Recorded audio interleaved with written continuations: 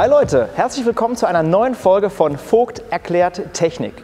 Ich habe wieder mit dem Simon Kontakt aufgenommen, weil ich habe da was gesehen. Ähm, vielleicht habt ihr es auch schon gesehen, ein neues Video und zwar von der neuen MDB Funkraupe und zwar der 500 Pro.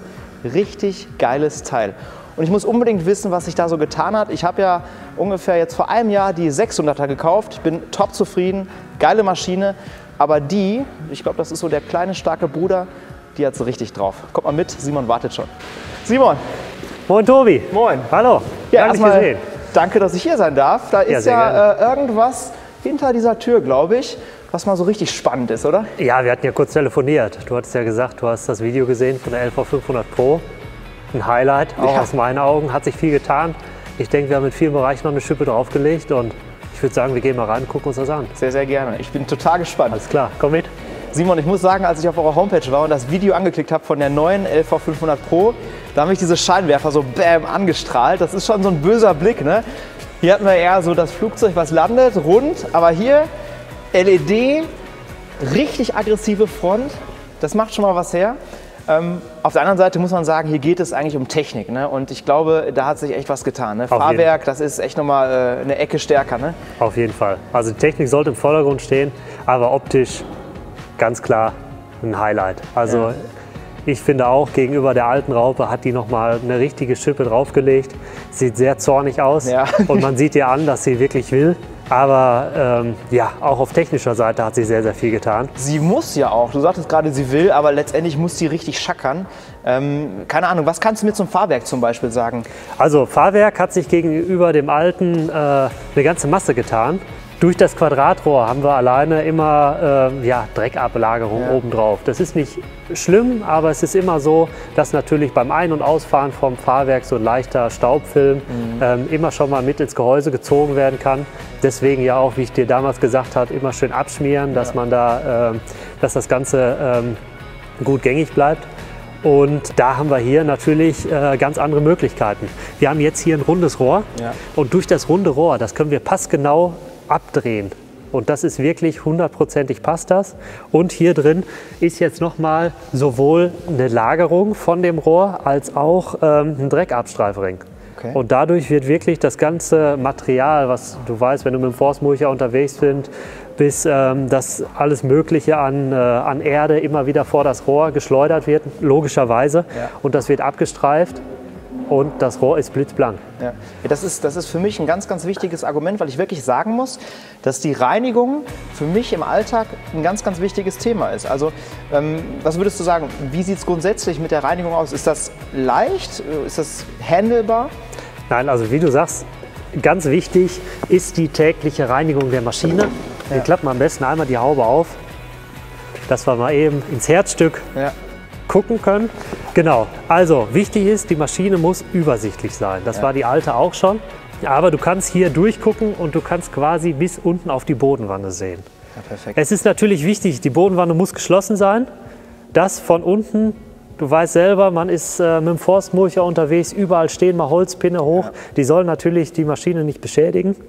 Aber entscheidend ist, dass natürlich der Dreck der sich logischerweise in der Maschine durch Staub etc. sammelt, auch wieder raus kann. Ja. So, da haben wir einmal die Möglichkeit, unten mit wenigen Schrauben einmal die Platte zu lösen und dann fällt alles nach unten raus. Ja. Ähm, was ich aber auch immer empfehle, ist gar nicht so sehr dieses viele Gewasche mit dem Hochdruckreiniger, weil man oft Erde von rechts nach links schwemmt, sondern täglich nach der Arbeit einmal sauber auspusten. Ja, aber es hat sich noch einiges getan. Ich denke mal, ein ganz relevanter Punkt ist vorne unsere Seitenverschiebung. Bisher hatten wir immer die 400 mm hydraulisch, 400 mechanisch. Ja. Da haben wir überall eine Schippe draufgelegt, wir haben jetzt 500 mm. Geil. Was natürlich gerade, ja, wenn man irgendwo an Seitenrändern arbeitet, ja. an Flussufern, bringt einen das nochmal noch mal weiter. Das Ganze ist nochmal deutlich robuster geworden, wie du siehst. Und was auch sofort ins Auge fällt, ist das dritte Zusatzsteuergerät. Wir haben jetzt nicht noch zwei, sondern wir haben drei Zusatzsteuergeräte und die voll proportional ansteuerbar auf unserer Funkanlage. Und ich denke mal, das ist auch nochmal ein ordentlicher Punkt. Welche, welche Anbaugeräte darf ich jetzt noch auf den Wunschzettel schreiben? Was, was äh, braucht wirklich diese Zusatzhydraulik? Also du kannst beispielsweise den Tifamec Auslegemulcher, wo du wirklich nochmal drei Meter weit von der Maschine weg ähm, arbeiten kannst, können wir so anschließen. Ein Erdbohrer, überall, wo man mehr hydraulische Funktionen parallel nutzen möchte. Ja. Sonst natürlich, ich denke mal, das Allerwichtigste an der Maschine oder warum sie überhaupt jetzt hier so steht, wie sie steht, ist die Abgasstufe Stage 5. Okay. Da war es natürlich bei der alten, die Abgasstufen sind ausgelaufen, da musste ja. was getan werden. Heute ja, haben wir jetzt einen Stage 5 Motor, aber was schön ist für alle die, die schon eine LV500 fahren bisher. Es hat sich nicht viel getan. Wir haben weiterhin Janma Motor. Okay. Ähm, sehr, sehr durchzugsstark. Wir ähm, ja, bekannt ist, Janma Motoren an sich stehen eigentlich für einen sehr zuverlässigen Motor. Okay. Ich denke, das kann jeder bestätigen, der da ähm, mit Erfahrung hat. Er läuft. Und, also, äh, ganz kurz die Frage, wenn ich jetzt ähm, wirklich mal überlege, so eine MDB ist für mich schon äh, wirklich ein relevantes Gerät, eine, relevante Maschine, die kann ich mir gut vorstellen. Vielleicht, wenn ich zum Beispiel äh, in der Kommunaltechnik unterwegs bin. Wann wird es interessant, dass man da auch darauf achtet, dass es eine Stage 5 ist? Ähm, glaubst du, dass es da irgendwann vielleicht auch ja, Restriktionen seitens der Politik gibt, dass man nur noch Stage 5 fahren darf? Oder ist das deiner Meinung erstmal so äh, noch weit weg? Ob man es fahren darf, weiß ich gar nicht so sehr, aber ich bin mir sehr, sehr sicher, weil es auch schon im Forstbereich ist. Damals hatten wir darüber gesprochen, ist es wichtig, Bioöl zu fahren oder normales Öl. In vielen Ausschreibungen, wie du weißt, steht ganz klar drin, ja. Auftrag wird vergeben, XY Fläche, ja. Vorgabe ist, der Dienstleister muss mit Bioöl fahren. Ja. Und die Vorgabe wird relativ bald vermutlich auch kommen bezüglich Stage 5.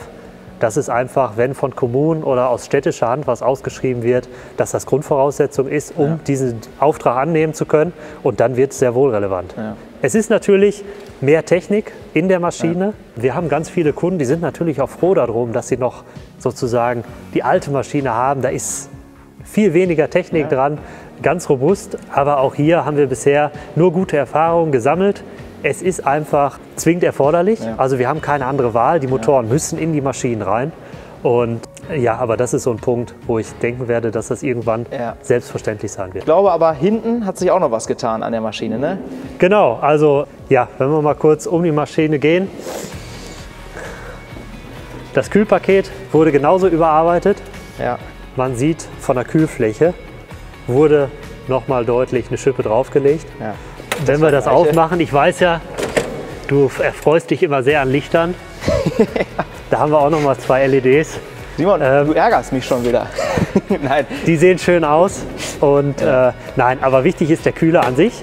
Ähm, der Kühler ist noch mal ähm, größer geworden, gerade von der, von der Fläche hinten. Ja. Wie bekannt, er reversiert alle sechs Minuten. Ja. Was allerdings, ähm, ja, der größere Kühler hat auch damit zu tun, wir haben hier auch nochmal hydraulisch zugelegt. Okay. Also wir haben 65 Liter bei 300 Bar. Okay. Da haben wir also 50 Bar nochmal mehr hydraulischen ja, Druck, ja. was gerade im Bereich Forstmulcher etc. dann nochmal so das i-Tüpfelchen draufsetzt. Ja. ja, also alles in allem kann man sagen, Motor neu, wir haben mehr Zusatzsteuergeräte, wir haben neu überarbeitetes Fahrwerk, wir haben mehr Seitenverschiebung, Zusätzlich haben wir noch diese 50 Bar mehr Druck. Ja. Alles Punkte für mehr Leistung. Ja, voll. Und ja, als i-Tüpfelchen würde ich sagen, das gute Design. LV 500 war bisher immer unsere meistverkaufte Maschine, wird es auch hoffentlich so bleiben, ja.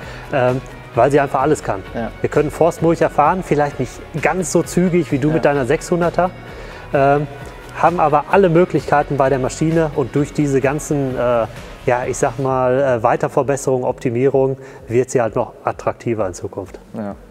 Weißt du was, ähm, ich freue mich jetzt schon auf das nächste Mal, wenn wir uns sehen. Ich glaube, du hast da wieder interessante Sachen. Äh, alles, was so mit Schnegelmulchern zu tun hat, das würde mich interessieren, muss ich ehrlich sagen.